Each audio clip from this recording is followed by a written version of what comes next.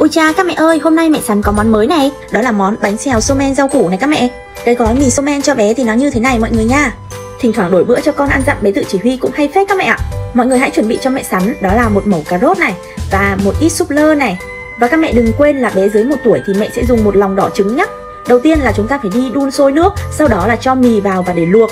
Sau khi luộc thì chúng ta sẽ để ra một cái rây để cho nó thật ráo nước mọi người nha. Ok, trong thời gian chờ đợi thì mình sẽ đi băm rau củ các mẹ nhé. Đối với rau súp lơ thì rất là dễ. Các mẹ chỉ cần lấy dao và cắt phần đầu của súp lơ ra là xong.